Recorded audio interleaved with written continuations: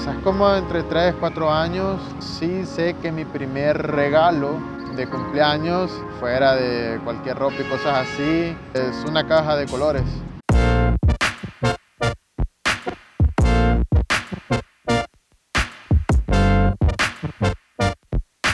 Y ahí es quizás donde comienzo a descubrir cómo combinarlos, cómo apoyarme, las formas,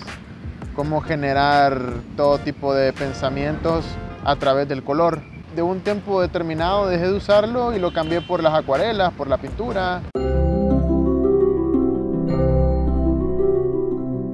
Llevo años realmente tratando de descifrar un estilo propio. Antes combinaba muchas técnicas y una de las metas o uno de los por qué hago esto es poder generar un nuevo movimiento o, un nuevo lenguaje artístico el cual las personas perfectamente puedan entender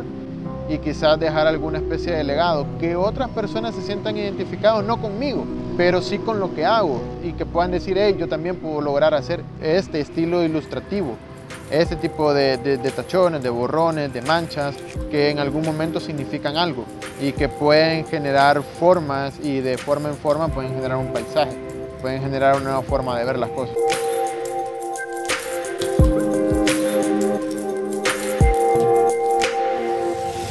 Cuando las personas me buscan y me dicen, hey, qué chévere tu dibujo, qué chévere tu trazo, es, es algo interesante porque quizás las personas en algún momento pueden lograr comprender lo que uno está haciendo a pesar que está manchando eh, bajo un estilo ilustrativo eh, francés que probablemente muchas personas eh, no conozcan como lo es el tachismo. He logrado hacer varias cosas gracias al arte. He logrado representar marcas, instituciones,